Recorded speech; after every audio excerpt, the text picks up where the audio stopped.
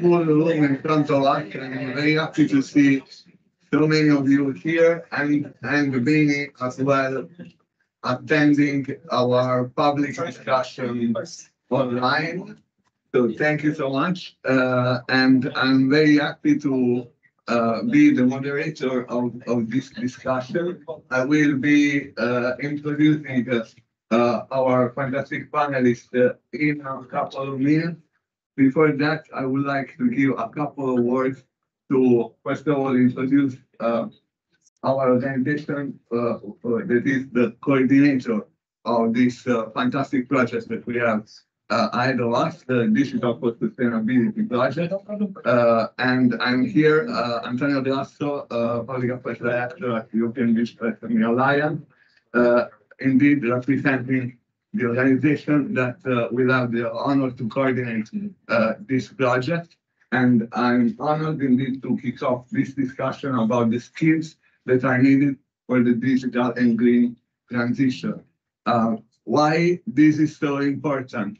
Well, many of you already know that with this project, we want to provide an impact on shaping the uh, digital and, and green transition uh, in this decade because this is the decisive decade that we have ahead of us, uh, that we are ready in, and uh, that indeed will be determinant in order to meet the ambitious goal of the European Green Deal and uh, lead the way towards the uh, the, the, the goals that uh, uh, want to achieve climate neutrality in Europe. Why digital and green transition? Well, the digital technologies clearly can make a decisive impact as well in uh, streamlining the transition in the right direction. And uh, they can do so by contributing to reducing uh, emissions uh, and by uh, increasing the sustainability of every in- industrial sector. So by now, there is no doubt that the green and the digital transition are intrinsically linked and they can be mutually beneficial to each other. That is why we think this discussion about the skills that are needed in the European workforce to drive the twin transition is fundamental. Uh, and it is fundamental because Europe, at the European Digital SME Alliance, we know dealing with our members who are innovative SME uh, uh, uh, entrepreneurs uh, in Europe that uh, on the everyday job of a digital SME entrepreneur, there is the challenge to find the right skill and the right people to cope with a twin transition that will usually transform and shape the labor market in Europe. And uh, we also know that uh, those innovative uh, leaders, those innovative entrepreneurs can be in the position as well to drive the upskilling and the reskilling of the workforce, to drive the uptake of those skills that will serve to the European industrial ecosystem overall to maintain industrial leadership at, at global level and to drive the industrial ecosystem toward the objective of digital and the green and the green transition. So I'm, I'm very happy to uh, indeed uh, kick off this discussion because uh, the race to achieve climate neutrality will significantly reshape the European labor market. And to maintain a, a, a leading position in this, we need to maximize the synergies between the green and the digital transition. It is because of that that the Digital for Sustainability project can bring a significant contribution to this. I mentioned before in, in our uh, uh, opportunity to uh, uh, that we have got to get to know uh, before this discussion the, the consortium project that I cannot name all of them simply because they are so many. This consortium brings together 24 consortium partners and uh, five associate partners, and they are all the stakeholders that can bring a significant contribution to uh, leading the digital and, green transition. So I think we are in the perfect place to have a discussion on the right skills uh, to, to drive this. And therefore, without further ado, I would like to uh, start introducing our uh, panelists. we have online uh, Francesca Borgonovi, Head of Skills Analysis at, at, the OECD Center for Skills. We have here Joachim uh, Frame, uh, that is Principal Economist at DG GROW at the European Commission. Uh, back online, we have uh, Iakovidis, Advisor for Digital Aspects of the Green Transformation at DG Connect at the European Commission. And last but not least, uh, we have Deborah Dole, Coordinator for the Digital for Sustainability Project, and my colleague at the European Digital SME Alliance, our Senior uh, Project Manager. So thank you all for being here today. And I would like to start with you, Deborah, so that you can help us to dive in the project and explain what uh, would be the, the, main goal of, this project.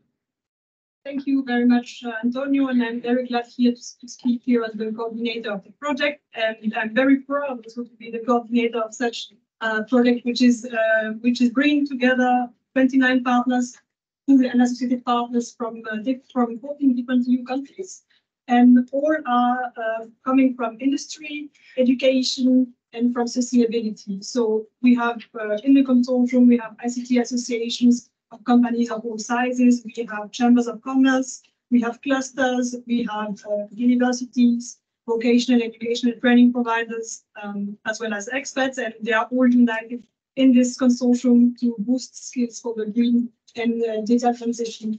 So I want to give a bit of a background about also the consortium, which is stemming from the large-scale partnership uh, of the digital ecosystem and the, the Pact for Skills. So um, it's an initiative which has been kickstarted uh, from one of the members of the Pact for Skills, which is Skillnet Ireland, who has proposed this idea to create this, uh, this uh, new consortium and address this very, uh, very um, important um, topic of skills for the green and digital transition. So um, the Pact for Skills um, and the large, large scale partnership is one of the 15 industrial ecosystems of the, uh, of the Pact for Skills. And it aims uh, to upskill uh, and reskill the European workforce and to achieve the uh, climate, uh, the, um, the digital decade targets of uh, reskilling 80% of equipping 80% of the EU workforce with a basic digital skills by 2030 and to support Europe's greens and digital transition. And this is really what is driving uh, the, the consortium is um, that all partners in this consortium and in the Digital Scale Partnership under the Pact for Skills have acknowledged the role uh, of sustainable innovation in achieving climate neutrality, as well as the need for the ICT sector to, become greener. greener. So there are several challenges that we want to address with this project. Um, the first challenge is to make our own house cleaner. So by providing uh, the current and future workforce of the sector with knowledge, skills, attitudes, be able to decrease the carbon footprint of the ICT sector.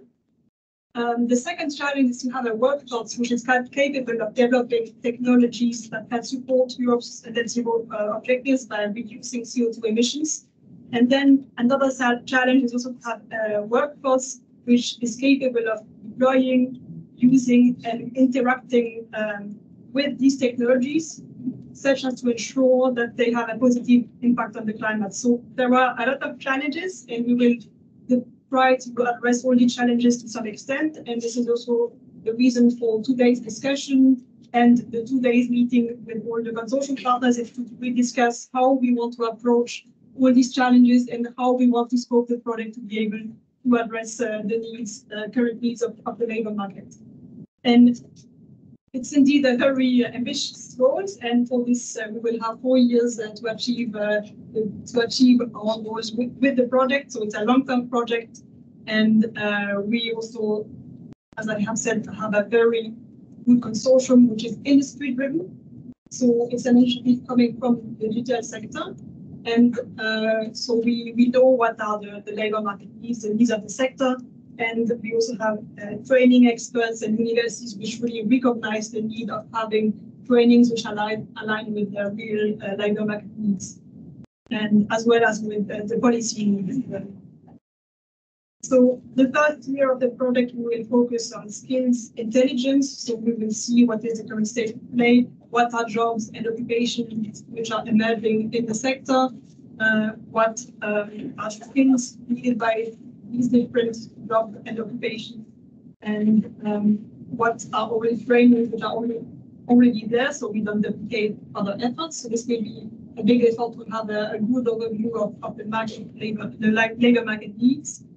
And um, at the end of the first year, the project will already have uh, developed some trainings, which we will call urgent skills uh, needs training, um, which will be suitable for any person already in the workforce or already employed. So short, short-term trainings, modular trainings, um, which can be taken online also at own basis. So the, the idea of the project is really to provide trainings which fit uh, workforce and people already in employment and that they can also take just short training or need to have one certain skill or one certain competence. So for instance, if you're an AI developer, you just want to know more about uh, machine learning, how to make it more energy efficient, you can take one training and not need to go back uh, for five years to, to university. So this is a bit the, the approach of the project to have uh, these uh, modular trainings and uh, micro credentials. So this is the, the um, innovative approach that we're taking.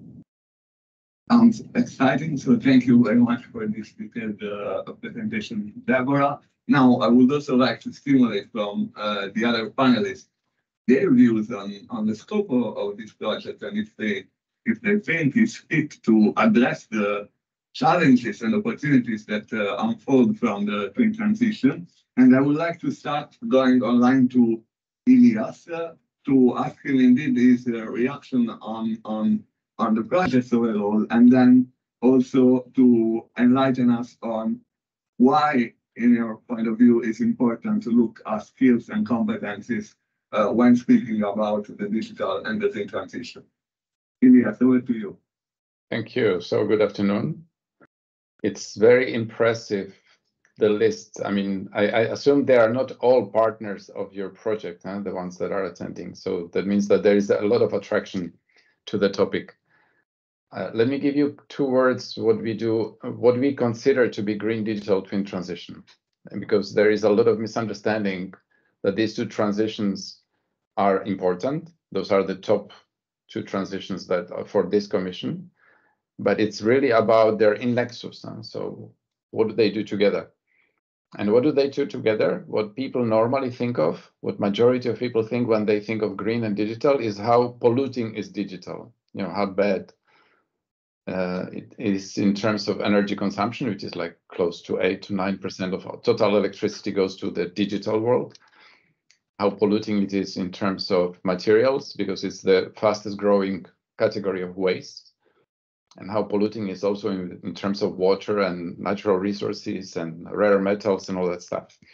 So depending, if you look at that aspect, and Deborah already mentioned that, there is a need for the digitally skilled people that develop devices, software, hardware, IoT sensors, uh, digital solutions for energy, buildings, agriculture, to start thinking that there are ways that they can, you know, there are ways that where they can improve the energy and material efficiency of what they are developing. So this is very particular skill, and I will not drill on this, but be aware that there are needs for digital digitally trained people to start thinking about energy and materials and what is the frugality of do I really need to copy all this data in 17 different places? Can I kind of do some, you know, savings in terms of energy and uh, pollution when it comes to digital? So that's one category of skills. The other category of skills that is more important, I guess that's where you're gonna put more emphasis, is how do we deploy digitalization in the climate critical sectors such as energy, transport, agriculture, construction, manufacturing, smart cities, healthcare even, which is also a very polluting sector. So how do I develop skills to people to be able to recognize the fit for purpose digitalization that will drive my sustainability goals wherever I am, whatever job I do in the other fields than digital. There I have one slide only, if I can display, just to give you how tragic the situation is. So I will try to share with you just one slide, just one picture. That's it. Um, just to show you, um, it's kind of taking a bit time. I don't know if you see it by now. It's, it's working and I'm Yeah. sure. So uh, maybe it's not in a display mode. So I will just try to do You that. can, you can see it clearly, yes. Yeah, okay.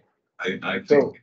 when it comes to, yes, let's apply digitalization to avoid emissions, to improve biodiversity or to, you know, help pollution, we have no skills and we have no people to do it. 60% of companies don't have the people. 60% of local municipalities don't have people because they receive money. So there is a lot of money going down. And if you think of the recovery resilience plans, only those which that's only one of many funding streams that are now going to the local level saying now develop green transition policy and implement it now and by the way this is the digital money implement the digital money for infrastructure solutions whatever people do not understand how to spend the money and how to marry how to create a synergy between the two and that's local level and that's both administrations and companies so we need to develop two three things. I would say three things. First, when in the digital world, we need to create this awareness of deploy and create markets of digitalization in the green fields, the sectors I mentioned. It's not yet there. When I talk to big companies, they have not yet seen the opportunity of the greening and the green transition as a development market to deploy skills and deploy an investment in that directions. When it comes to the all the green constituency, the environmentalists, the public offices, the NGOs, they are also need they need to understand a little bit how digitalization works and what is the fit for purpose digitalization because they still live in 20th century Excel sheets, data, kind of basic data management, which can be done much better. You can see it in the laws, in the measures and directives and regulations that the environmentalists are publishing. There is a very thin, there is no digitalization by design in those regulations, how to manage the data, how do I monitor, how do I enforce, how do I create policy based on this data. So it's still lacking the skills on the green side. And then we need a third category of people, and those are the people that are the marriage brokers that actually understand those two worlds because it's difficult that you get environmentalists to be PhD in AI. And it's difficult the AI to understand what LCA means and what environmental engineering means. They will kind of do halfways, but we need the people in the middle to bring these things together. So those type of three skills is what we need. And now the last thing is that you can either focus to create curricula for universities and good luck to change any university course in these three directions. I tried that in healthcare and it's kind of impossible to even change. So that is a change that will come up and you will see it in 15 years from now. Or you do just in time, on the job training of the people that need to do a green public procurement or the people that are now suddenly in charge of smart city applications. And you try to create a support services to these people just in time on the job. And that is much more challenging. And what you can do because you will not be able to outreach as a project you need to create those people network of those people that can do it locally so that is how i see without reading your technical annex i mean your work program and deliverables uh, a big need, okay, that you may hopefully do a contribution there. Thank you. streamlining already our discussion in a quite interesting way because we have indeed heard from you, you consider that basically there are three main uh, categories of, of skills that will be needed, the, ones that are needed to raise awareness in the entrepreneurship, uh, the one to uh, raise uh, the fit for purpose, uh, let's say, digitalization of, of industrial ecosystems, and the ones that can be raised as well in the just via just in time training. So I, I think these are very interesting inputs that we got uh, already in the beginning of our discussion. And I am curious to hear from Francesca, who has been leading at the OECD a very interesting effort on the skills for the uh, resilient green and digital transition. If some of these insights that Ilias just shared are also coming out of, of your report and whether indeed you could give us a perspective on the on the main result of this report and also on how uh, the EU environmental goals and policies may affect uh, the labor market, uh, including uh, the occupation and the demand for the right skills. Yeah, thank you so much. Um, I think a lot of the insights we have uh, are quite complementary uh, to the insights that Ilias uh, just uh, uh, just mentioned. Uh, in particular, in the context of the skills outlook with respect to the labor market aspect for Europe, what we did was we analyzed the impact of the Fit for 55 policy package, which aims to reduce greenhouse gas emissions by 55% by 2030 compared to 1990 levels. Uh, this is a critical initiative, uh, but it requires a system level change uh, in terms of uh, uh, structural organization of the economy. And so a lot of the results we find um, pertain to the fact that, some of the sectors that will change the most in relative terms, the green and the brown jobs, the renewables and fossil fuel extraction, um, actually employ few people in the economy. Uh, by contrast, the sectors that employ a lot of people and that are in fact most exposed to productivity gains that pertain to digitalization, for example, such as business services and public services, uh, um, will also require changes as a result of the Fit for 55 package, but have um, uh, uh, let's say, less dramatic relative changes, and so are often forgotten by uh, policy discussions in terms of uh, uh, uh, skills policies resulting from the green transition.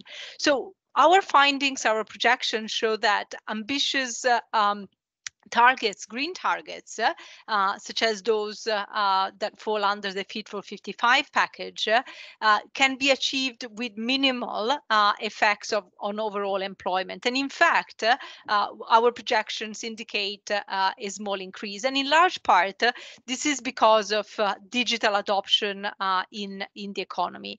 Um, at the same time, the energy sector uh, will be starkly reshaped. Uh, employment, for example, is projected to grow by as much as 78% in renewables uh, and nuclear electricity, but decrease by over similar amounts uh, in fossil fuel uh, based energy sectors. Uh, at the same time, these sectors uh, account for less than 1% uh, of total employment in the EU. By contrast, what I said before in terms of what happens to business services and other services, we have small relative changes, uh, an increase of 2% or 3% respectively by 2030. But these sectors employ essentially 80 million workers uh, uh, in Europe. And so in, a, in, in terms of skills policies, uh, if we want uh, uh, to make sure that we have the right talent for sectors that in absolute terms, uh, as well as relative terms, uh, uh, will increase, uh, uh, we need to invest a lot uh, in at the intersection between green and digital, but also the digital aspect more specifically. In particular, what we see is that both in terms of job profiles, but also tasks that will become more important in the future, there will be a big need for skills that are ancillary I would say, to what digital can do. So working alongside people communicating with others. Uh, one transition that is often forgotten is the demographic transition. So assisting and caring for others will become increasingly important. Um, the other set of skills that will grow in importance because they are extremely prevalent in the service industries are working alongside technology. So software development, uh, analyzing data and information. Uh, and finally, there is a set of skills that are needed across occupation and industries, such as uh, dependability, achievement, problem solving, making decisions, and etc. And so one uh, crucial challenge, I think, for, for policymakers is to develop the set of uh, uh, general skills that will be needed across the board, but then also uh, promote participation in adult learning, particularly to facilitate transitions, keeping in mind that the geographical distribution of winners and losers, uh, so to speak, uh, uh, is not the same. And so some of the sectors that will be contracting are not necessarily in the same regions as those that will be expanding. and also in terms of distribution of uh, prior educational attainment, which is also a predictor for participation in adult learning, uh, is not the same. Again, some of the the, the, the, the groups that will be most affected are individuals with low levels of formal education and low uh, habit of participating in, uh, in adult learning. And finally, uh, just because it's something that I care quite deeply about, uh, is the gender dimension of, uh, of the transition. Many of the profiles, again, that are expected to shrink most considerably, if you think about um, uh, mining in Poland, for example, uh, but also to expand most significantly uh, are predominantly so far uh, male uh, um, uh, with an over representation of, of males.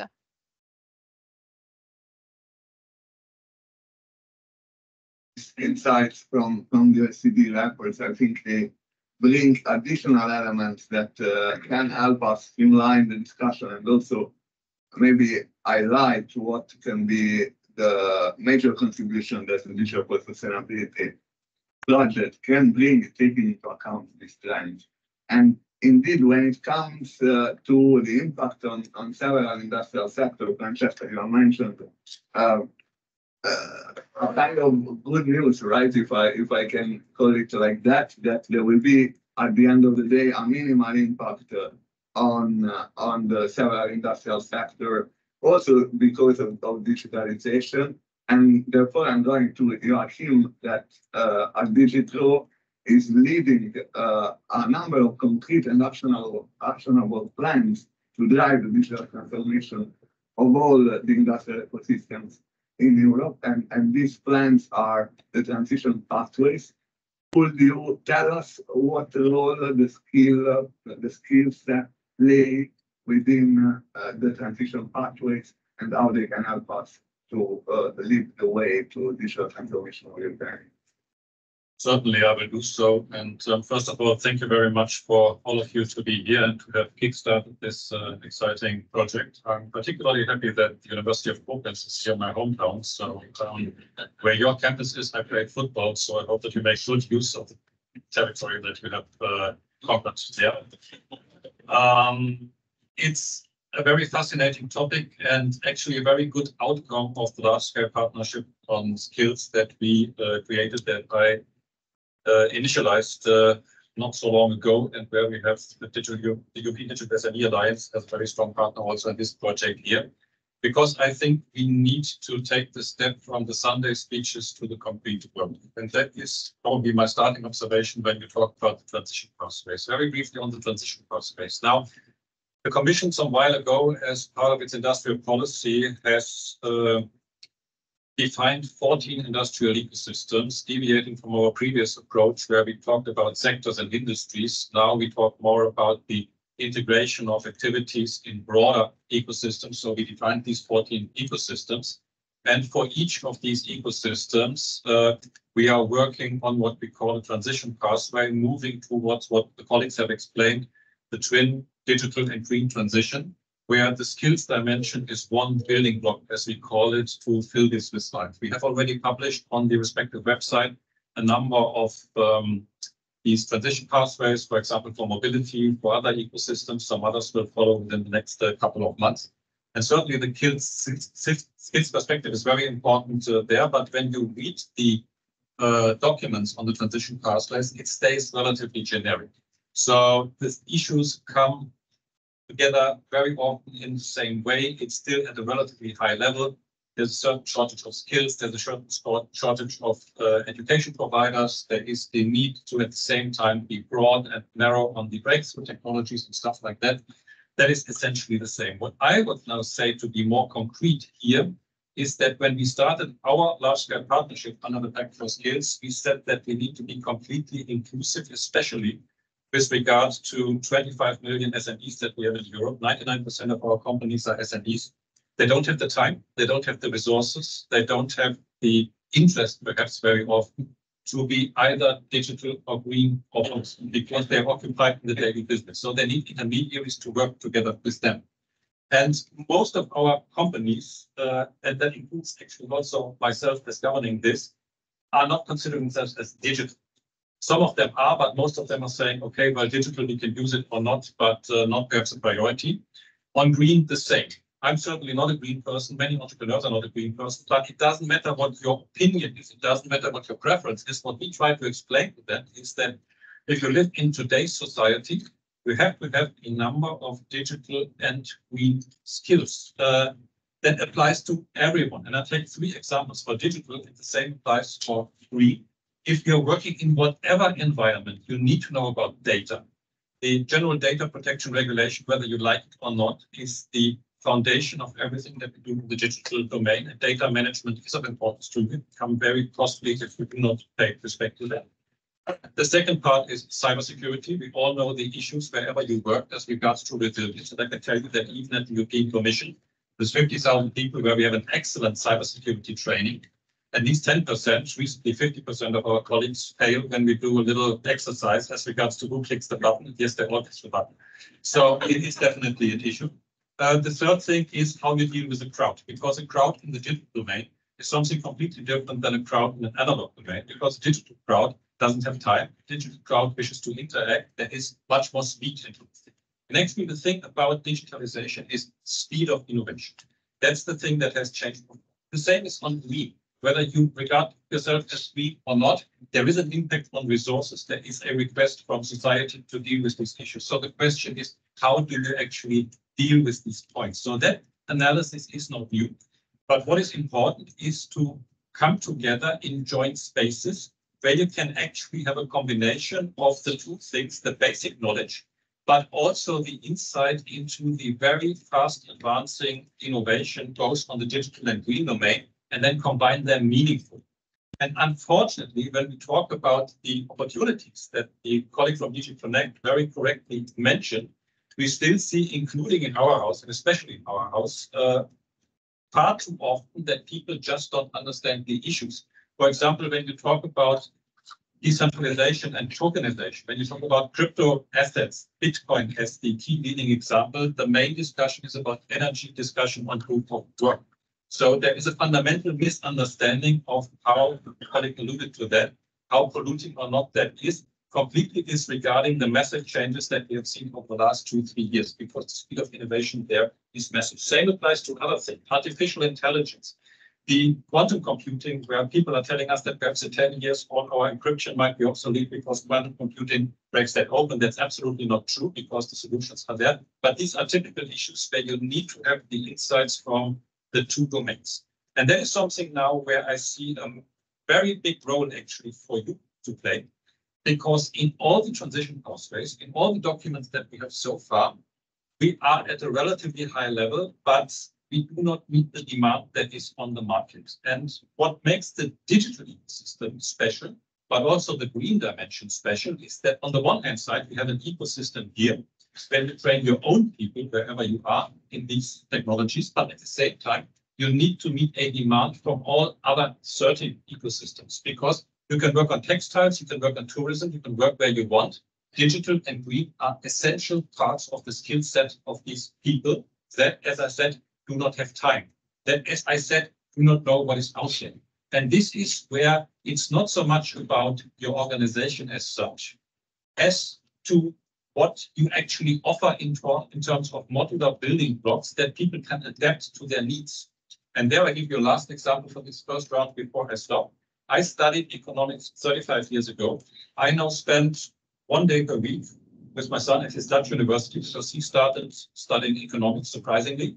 So uh, I'm now, after 35 years, revisiting my microeconomics and macroeconomics courses, just sitting in the lectures and just uh, uh, upskill myself. Fascinating to see that 90% of the substance is absolutely identical to what I learned 35 years ago, but the complete setup, the complete tool set is fundamentally different.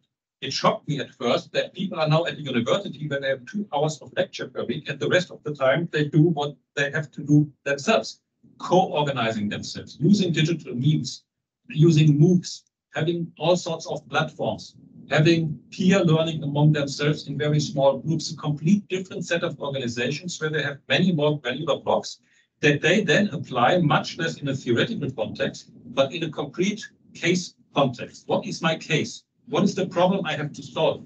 What is the issue that I really wish to have the answer to in six weeks from now, because then I will be graded? That is the realistic question that you will meet in your working life all over your life. It's not about having a fun time five months and then there is an exam, oh God, but it is on a daily basis to have the next level discussion on these things. And this is what I would expect also for you to look into in the next four years to give us the very concrete solutions because you have so many more technical opportunities now, but while you have the big demand, you need to leave it, in my opinion, to everyone out there to define their own needs and be the consumers that basically link them to you in order to get the answers from you on how to do that. And if you can manage that, then I would say that's a unique characteristic where you have put a major step forward compared to what we now have on very generic documents.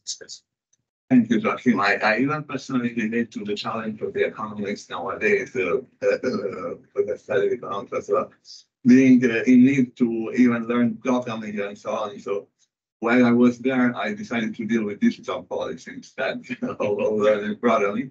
Uh, so I'm going back to, Deborah because uh, I would like to know how also uh, digital SMEs can respond and help to meet uh, these challenges and uh, when it comes to the project, as project coordinator, how we can help the project going into the action of responding to the overall EU skills ecosystem and possibly support as well the efforts within the practical skills.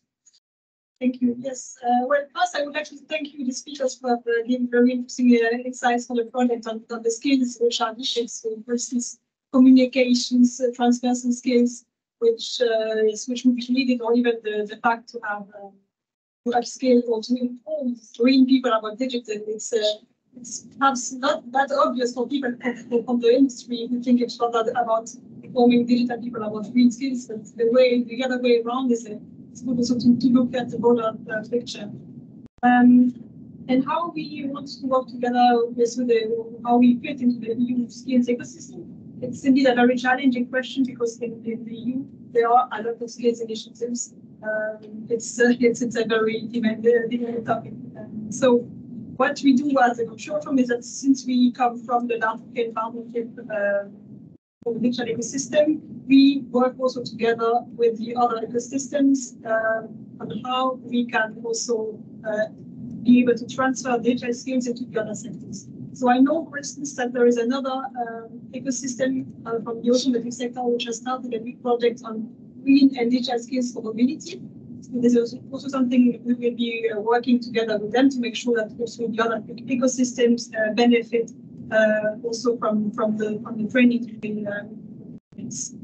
Um, and another point I wanted to mention is that the consortium we have is also working a lot in skills for other digital uh, verticals. So we have partners working in AI skills, partner working on cybersecurity skills, uh, blockchain skills, uh, software skills. So everything is already covered to some extent. And I know that these programs also cover to some extent sustainability. So now the aim is to, with the upskill workforce we have in all these different topics, verticals, is to make sure that they also have the, the sustainability knowledge that, they will be able to, to develop and to move forward the, the green digital transition. Thank you, Deborah. To be also concise, and I would like to invite the other speakers as well to, to follow your example because we would like to open uh, the discussion for Q&A uh, very shortly. So I'm going back online to ask as well to uh, Ilias. Uh, uh, you already mentioned before that you consider that just in time and, and on the job training could be one challenging way, but could be the way to, you know, make sure that the right skills are spread over the workforce. How do you see as well the role of education and training uh, in this? uh, and uh, also, how can these trainings be tailored in a way that drives the digital uh, uptake, the, the uptake of digital technologies uh, over the different ecosystems? Thank you. So I want to thank Francesca for laying the ground on what I wanted to say now. So it's perfect. And Joachim as well. And so the Amaryllis team is actually doing very good job in digitizing the industry, kind of trying to, to get there. So let me first say the two mega trends, digital transformation and the green transition. Those are the two mega trends. Uh, are working in isolation. So at this while this is a priority of the Commission for the five years, those two megatrends have barely touched. The synergy of the two we have not been realized yet. So we need much more effort to marry those two. I think if we if I had to choose, okay, do I focus on how many engineer well, how many skilled workers I need to put all the chargers on the streets, and I can give you some numbers, and DG employment has a lot of numbers as well, and DG energy as well how many people we need to put all the solar panels and all the chargers on the street. It's well studied and the needs for this type of workers are done. I would raise something that is less talked about. And that goes down to Francesca's points. Where is the biggest employment happening? In the services, in the SMEs. What is the biggest green thing SMEs can do? is to help the transition to circular economy. What is a circular economy? Circular economy is the solution to climate change, biodiversity loss, and pollution. Those are the triple crises that define the green transition. The driver of this triple crisis is not that we burn oil, it's the non-circularity of our economy. So if we really want to address the green transition megatrend correctly, we need to go down and see where is the biggest thing, how we run the economy. Who is the economy? Well, it's this mostly SMEs. What do they need to go to become more circular? Well, they need to become, they have to adopt circular business models. They have no clue what that means. i give you one example. How if I'm in the production, if I sell something as a product, a circular business model example is to instead of selling products and that means i make money by selling quantities of material to go into a product as a service for that i need to digitize my business completely how do i digitize my business if i don't even understand anything of that i need to have a specialized support. And okay we tried the coaches and DG GROW? Joachim will tell you all about you know coaching smes and all that stuff. We need to create conditions locally where they will understand that they can do very profitable business by not selling natural resources, but by selling services that address people's needs. That big paradigm shift at scale needs a lot of digitalization and a lot of skills, a lot of understanding that, yes, I can be sustainable and get, my scope one, scope two, three, which SMEs don't need to care about yet. But I can be sustainable by becoming, you know, have a sustainable and circular business model that is enabled by digitalization. Because in order for me to do that, I need to know where my products are. I need to do my supply chain. I need to see how to do how to take back and refurbish things or repair things. It completely changes the business model. But we have experiences that these digitally enabled business models are very profitable and very green. So how do we help? What kind of skills we need in place? What kind of marriage brokers we need? And I give you two pointers. One is the European Digital Innovation Hubs. I'm looking into over 150 regional innovation hubs are intending to do something for green. Their business is to digitalize the ecosystem in the region. they intend to use it for green. There we have a seed where your project can type into. When you want a curricula, I developed with UN curricula development that I'm just putting in the chat. So I just press the button in the chat. And I can also give you a link to the European innovation hubs. So those are two pointers as a suggestion to the project, okay? But overall, my message is the two mega trends are not working together. So there's, which is an opportunity for you to make a difference. And if you're really looking at a mass where really things have to happen, it's business and services and you know SME ecosystem, and they need to move to sustainability, and they need huge skills themselves, but also with a you know support at the local level where that support can happen. And that's not only skills; it's finance, it's IT, it's many other things, but skills is key. Thank you, thank you, Ilias. Uh, and and let me let me maybe uh, ease you of it because uh, I I I can say that working together with the, the most innovative SMEs in Europe, you said that indeed the circular economy is not uh, clearly a concept that that many have, but uh, we are aware that the landscape of SMEs is diverse in Europe. And, and as you said, it's through digital uh, as well innovation and through the innovators that are already in the European landscape that uh, we can we can uh, drive the uh, sustainability and the circular economy, tackling that triple crisis uh, that Yes. that's mentioned. If you, With- if you allow me one point, yesterday, Sure. I'm in the team that develops digital product passport. So it's an IT tool to help businesses to you know to transit to circular economy, to make their product more sustainable and their business. We had a yesterday a digital product passport webinar.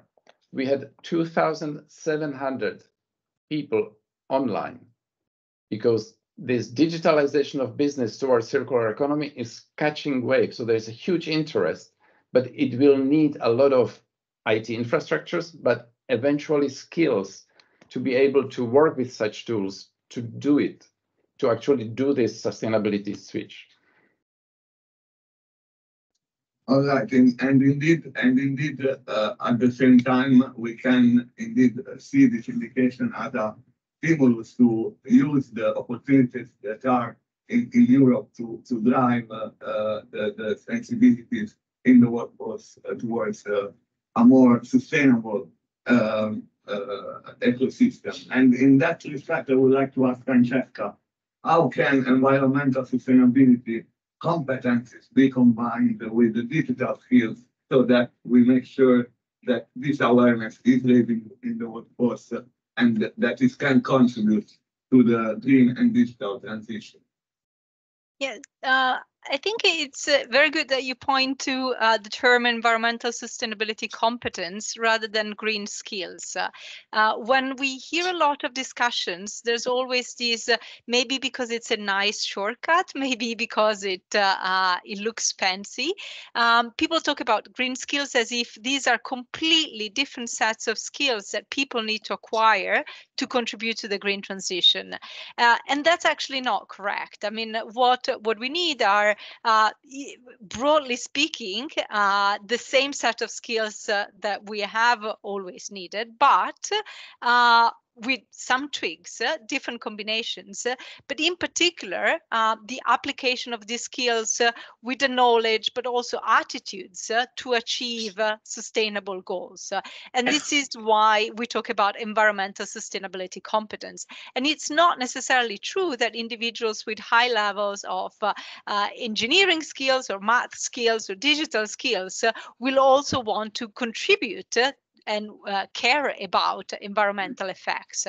And this is important for two reasons. One, when you talked about the Digital for Sustainability project more generally, uh, and uh, you know what kind of uh, modular approaches you can have, you know, if uh, it's about the same set of skills but recombined uh, uh, in a different way, this opens many more opportunities uh, to empower a broader set uh, of learners uh, to acquire the, the, the, the, right frame of mind, I would say, to make a difference. it's not that you need to completely reshape your, your, your skill set. it's just that you need to add specific bits and pieces. And uh, more generally, because it actually speaks about uh, uh, the some of the opportunities in which you can use digital to have positive effects by thinking in a different way. Um, when uh, I mean, Ilias has uh, talked about uh, circular economy, and but at the very beginning, you know, when we think about digital and green, uh, we think about how the digital, the green, the environmental footprint of uh, digital uh, um, infrastructure. Well, one of the things that we were looking at was, for example, how can you think about uh, when you need to cool data centers, uh, you use uh, the heat that is generated, for example, to heat swimming pools. Uh, uh we were doing a project on how to enable kids to develop physical skills such as swimming and this is a different way of thinking about uh, about the problem. And finally one example we had we have looked at um, uh, job postings online uh, for uh, experts in the ai field experts that are uh, engaged in the development maintenance uh, uh, of AI systems. These are highly specialized uh, figures. They are less than 1% of online vacancies. We looked at trends uh, in 14 OECD countries, and it's less than 1% of overall vacancies. Even with ethics, what you see is that, and there is a big debate about ethical AI and trustworthy AI, less than 1% of these vacancies contain keywords uh, related to uh, ethics and etc. I bet that if we were to do the same exercise on, for example, green environmental sustainability and etc. So how do you make the most of AI uh, profiles uh, to actually achieve environmental goals or make sure that these are compatible with the achievement of environmental goals, figures would be fairly similar or even lower. So what we need is a rethink about how to combine uh, the two in the long run. Thank you so much, Francesca. And, and I turn to Joachim to ask indeed how, how do we manage to combine these profiles and these skills that Francesca just mentioned and how do we also make use of those intermediaries that you have uh, mentioned before and that also Ilias has referred to, for example, when it comes to European Digital Innovation Hub. But I would like to add, uh, why not to use the potential of the most innovative part of European industry that is already familiar with the digital tools, with the digital solutions, and uh, for us the skills to drive the uptake of skills into the workforce. And what can we learn from the for skill, the large scale partnership, and the digital for sustainability project that brings together such a variety of stakeholders in order to bring together, make structural change, to bring together in a structural manner all the stakeholders, for instance, in the form of public-private partnership. Would this be a way forward and something that should become more structural to have systemic change? Lot of questions in one, and I'll try to be short. Um, first of all, let me revert to what Ilias was saying, because he mentioned at least two points that are very important to me. The one you also mentioned, the European Digital Innovation Hubs, for me, one of the most excellent examples of an initiative ever done, because it combines the aspects we are discussing here with the proximity perspective also in a geographical way. And I know that one of your partners, for example, is a cluster initiative, but I think in Romania there might be others. This dimension is extremely important as a joint learning experience where you can have well-defined issues that are embedded in a social context where the public and the private side can come together to have this joint learning. This public-private thing is very important to me because we have discussed about that for ages, but when we talk about the two joint topics we are discussing here today, in my opinion, the private part needs to take the leadership. This is a demand-driven exercise where basically the knowledge comes bottom up. And the whole set of digital technologies that we have, if you look at them, are actually driven in a decentralized way. No one has asked for uh, cryptocurrencies. No one has asked for AI to emerge, but basically the technical opportunities are there. And the driver of that is actually 4 billion gamers that we have in the world. The 4 billion gamers are the big source of innovation that we globally have. And whatever you hear about the metaverse, whatever you hear about digital payments and stuff, has been developed first in a very playful way from the generation that is right now in the education system and moving up in the education system. So basically your target, which then basically brings me also to the point uh, of how to attract that target audience. And this is again through some of the mechanisms that basically we have uh, talked about before. When I, as an economist, went to university 10, 15 years ago and talked about economics, be that digital or not, I probably had four people in the audience forced by the professor to sit there. When you now talk about any of what we're talking about here today at any place, the audience is completely full. They don't want to stop after two hours. Uh, after the discussion, they come to you explaining to you what I've programmed yesterday evening, what I'm doing here and there. These people take a massive interest in the practical, also economic application of digital and green use cases. And I give you two examples. The biggest bottleneck that, in my opinion, we have in terms of capital in Europe is the unused physical capital that is standing around. We have the traditional business model, and Ilias also alluded to that, uh, that basically the supplier builds a machine, sells it to the buyer, and then good luck with the thing, and I'm out of this. In the future, we are much more going into the service economy by using machines to provide services. No one today basically needs a printing machine, but you can have a printing machine very usefully if you lease it for a couple of hours or days to do a project. Same as a tractor, same as utility. Once this is digitized, you can see that with digital payments, with settling the insurance digitally, with having the bookkeeping in a digital way, that you have enormous efficiencies in the system that make the service economy much more attractive, but at the same time, it is free because you have not these underutilized things. You do not have the physical problem of moving all this stuff, this duplication of production and then standing around idly and doing nothing. But this addresses very clearly also uh, these issues here, which I find a very important example. Last example, take the CO2 certificates or anything else that is green. And there I have a double role, I would say, for the intermediaries. Certain intermediaries are very useful. We discussed that. Others are a bit more dubious, in my opinion. We have these big CO2 schemes with the certificates and stuff like that.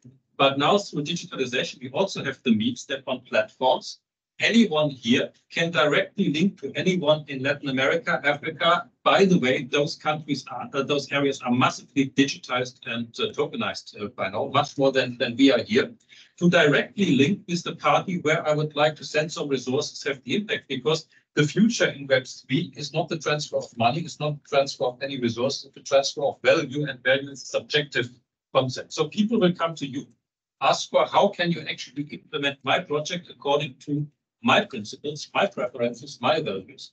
And in my opinion, the public sector is not primarily there to say that this shouldn't be your values, this shouldn't be what, what you want, but basically to enable it. So the public sector is turning into an enabler for business opportunities created both on the digital and green domain. And this is why I think the narrative, this is when we talk, that's my final remark, uh, what are really those skills? It's about being clear on the communication side of what I can want and what I can offer on being clear of what the fundamentals are. When we talk about all these digital things, uh, we are talking basically about code. We are talking about smart contracts. We are talking about things that 99% of people don't understand.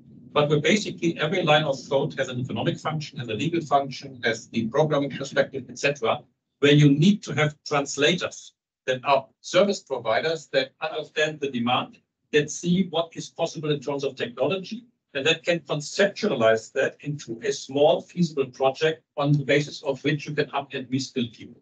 If you have that image in front of you, I think that you can embed in that image a lot of what we have been talking about today. And this is really something very concrete that all of you can work in your concrete environment for this initiative in the next four years. And then you have an endless amount of little tools where basically everyone can onboard just in their spare time or in their business uh, time or whatever they have for two hours for a six week uh, course, whatever you want in order to be work.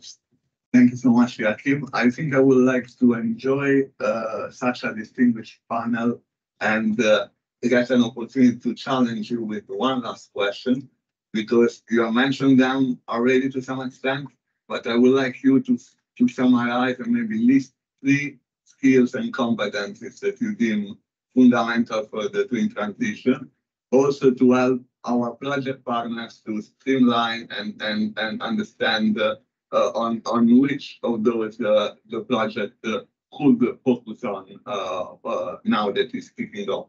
Uh, before you do that, I would like to also take the opportunity to ask uh, if, if you want to prepare any question in the room to the audience and also to give the opportunity to our online participant uh, to uh, either type their question in the chat or raise their hand uh, once we kick off the Q and now really maybe one minute each, if you can list me those skills that we need.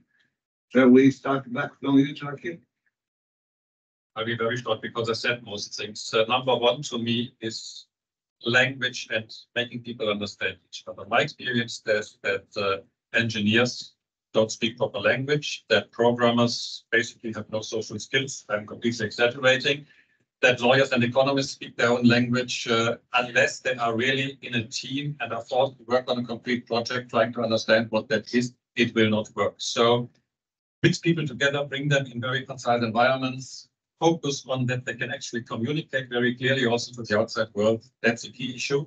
Second thing is don't rely on the traditional channels for gaining information. If you read the Financial Times, if you read the mainstream media, if you look at anything out there, you'll get your standard information that you have. Nowadays, I get my information from blogs, I get my information from obscure chat rooms, I get my information from just going to companies and see what they are programming. So there needs to be a hand-on approach and you need to be efficient on your information collection. And the third thing, have the courage to listen to your audience, which is basically now that every 16, 17, 18 year old person is much more intelligent than I am in this business, being the leading person in this business here. And that is also sort of cultural change where basically I cannot stand anymore in front of people telling me, telling them what to do. I need also to be able to learn from them what their concrete needs and interests are. And I don't need to share that, but I need to be able to deal with them. Thank you, Joachim.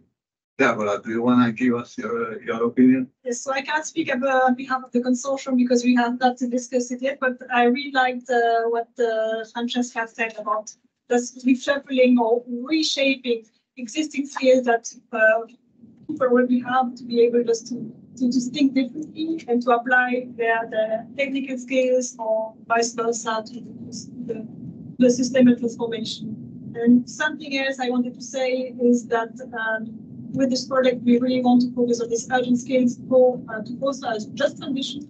So for people who cannot uh, wait four years for uh, the tra- traditional education system to adapt uh, to labor markets, needs, or people who can't afford to pay a consultancy to, uh, to uh, tell them what they need to do, for, for instance, uh, with the sustainable reporting. So we need to, to shape this project for uh, workers uh, from remote areas of our SMEs of people in need of uh, new skills. Thank you, Deborah. Francesca, you have already enlightened us with, with very interesting insights. Your, your take on the skills. Yeah, I mean, um, I, think on top of the issue of combining skills uh, uh, with the willingness uh, and the attitudes, uh, uh, one of the key skills that I think uh, is necessary to make the most of other skills, in, part as has been said, is actually the um, ability to solve problems collaboratively. And uh, there are different aspects to this. There is the how do groups make uh, uh, decisions uh, and how decisions can be facilitated. The other is how do you coordinate uh, different input when the information that different agents have uh, is different. Uh, uh, and finally, how do you solve conflict uh, and how do you produce uh, collectively uh, new information? And um, coming from the perspective of somebody that is very much engaged in skills assessments in an international perspective, most of you probably know what the PISA study is and how we test, you know, reading, math, science, or literacy or numeracy a key challenge is actually to define some of these uh, uh, less standard skills like the ability to collaborate uh, to define different levels of proficiency and that actually then embed this in the context of curricula first, uh, but then also in hiring decisions. Uh, how do you discriminate uh, who is good at this and who's not? And then what kind of trade-offs uh, do you make when you're hiring people based on, on the different skill sets that you have? We all talk about the importance of these transversal skills. These are extremely important and they're not soft skills as people say, but really defining the underpinning uh, attitudinal and cognitive capacities is not necessarily obvious. Thank you, Francesca. And Ilias, you already hinted uh, some clear solutions for the way forward. Your take now on, on the skills needed. Yes, I, I mean, most of it has been said, but I take the opportunity to to make it a little bit. Uh, I will show it on one slide again, but uh, sorry with this. I want to give you the bigger picture because how do you teach people what sustainability means? Uh, I don't know if it did you display. No. Not yet. Don't. There is a so of course you can say everybody should know the basic of LCA, life cycle analysis. Everybody should know the basic what circular economy is. So you could say embed it in everybody's engineering, IT, you know, uh, whatever business uh, management schools insert some of the basics of what environmental sustainability means. Still nothing? No. We can see. We can see. Ah, you can see it. Okay. So you can see that the challenge is to understand this trade-off that the skills to get a good job should be the same as the skills to get environmental sustainability upskilling. Those two are the same because normally people think green skilling is on top of or something separate from getting a good job.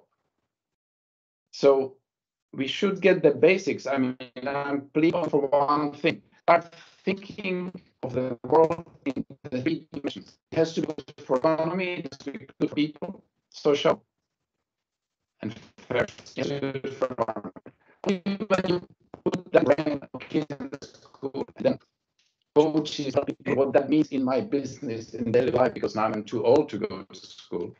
When you say, well, this is good for your business, but if you do that, it's good for business and environment, and by the way, and some social issue. So instead of kind of listing very kind of narrow things, the bigger picture is think 3D. Now, how do you optimize in the 3D? Nobody knows this is the ultimate frontier because we have been tailored to optimize GDP. We care only, and digitalization cared for 30 years only about one dimension, economic, efficiency gain, GDP growth. They couldn't care less about social environmental sustainability. We slowly growing to realize that there are three dimensions. We struggled with social for many years now, maybe five, ten years. We're trying to see about inequalities we create and and gender and skills and access to digitalization. So we do have these indicators. Environment is completely new thing for digital world. So Thank what Thank I would be is 3D vision. Thank you very much, Ilias, for bringing this actually big picture uh, to, to actually conclude our discussion. I would still like to see whether in the room there is anyone with uh, some questions to our panelists. One question, yeah. No, it's not so much of a question, but it's maybe a call to action. I mean, this was very interesting discussion and thank you very much for bringing such uh, distinguished guests. Um, I would uh, like, like Joachim said, that yeah, we we are gathering information from different channels. And first of all, I would like to ask if this panelist could stay around for four years and maybe give us, uh, you know, some insights now and then. And secondly, it's maybe for the project coordinator to give us the space um, to post uh, some of the uh, interesting articles and interesting blogs to really be on top of uh, this topic. Because in Slovenia, uh, with this project, we will turn around a lot of heads and a lot of interest will be will be um, will be we will get a lot of interest. So I would really like to be on top of not on top of everything, but you know, just be uh, in the loop of the information. Absolutely. Thank you for this suggestion. I'm sure there is plenty of room to continue to work together, and I hope our excellent panelists uh, will not mind to not get rid of us. So we can we can definitely keep in touch uh, over the years. Uh, another look to see whether there is another question, and then we- question, and I'm very interested in what the panelists think. Um, what we want to do, we want the SMEs to take action. And for them to take action, they have to be motivated. So what would be the one recommendation they have for us on this consortium to motivate SMEs? So I don't know uh, if you could hear it online, but I'm repeating just in case. Uh, if you could give us uh, your insights on how to motivate the SMEs, how this consortium of partners can motivate the SMEs to get on board with the right skills. Please, I have to ask you for one minute each, uh, if you want, or unless there is a volunteer who wants to take it. Uh, because we are closing down this session and this uh, meeting is continuing only with the partners uh, of the project. So we'll have to ask the general public to, to leave the room afterwards. Who wants to take this question? Joachim first? I can start. Uh, First, to the first uh, remark, uh, we will be around, uh, maybe even more than you want, but uh, we are interested in in results, so very happy to cooperate. On that question, as I have worked on the SME policy for ten years, uh, my advice would be, and that's very obvious, for SMEs to know actually what their environment is, what their own ecosystem is, what their basis is. And the nice thing about digitalization is that even as a very small company, digitally you can have a very big outreach. So in the past, we had local communities, we had uh, the physical factor playing a role to create trustworthy environments. Interestingly enough, when we talk about all this advanced stuff, for example, in the field of finance, digital finance, etc., it all emerged after the financial crisis 2007, 2008 through alternative financing, crowdfunding, crowd innovation, crowdsourcing, in a very concrete environment. When you needed a 10,000 euro loan from your bank and didn't get it,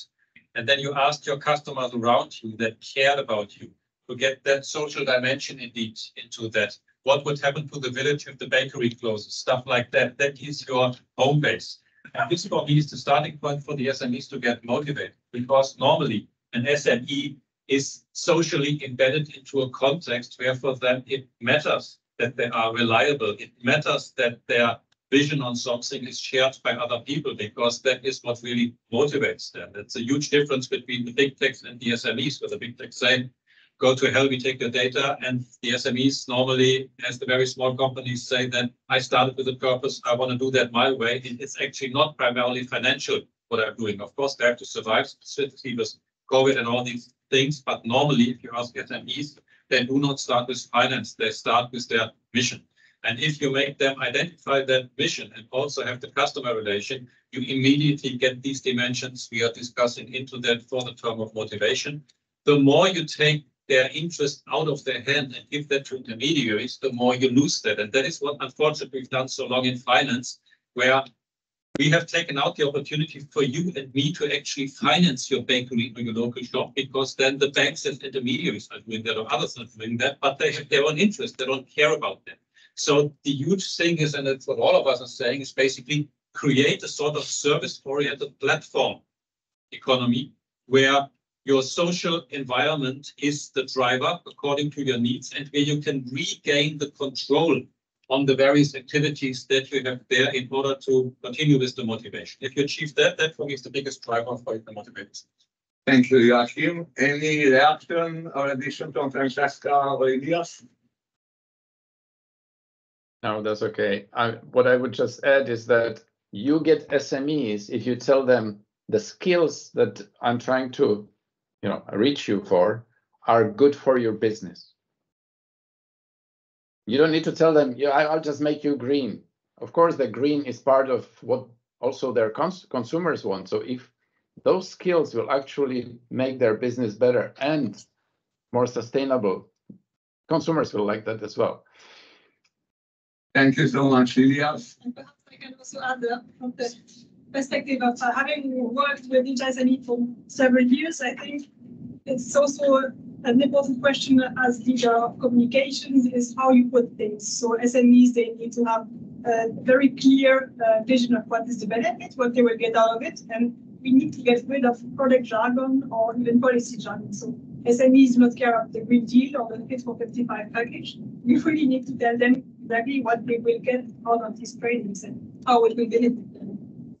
Thank you so much, Deb, Deborah, for this uh, very clear words. And uh, before I, I uh, ask you to join me in thanking the panelists, again, I would like to ask the project partners to stay in the room and the public to maybe continue discussion uh, over, over a coffee outside. And the same for those who are joining us online. Now, please join me in thanking this excellent panel. Thank you so much.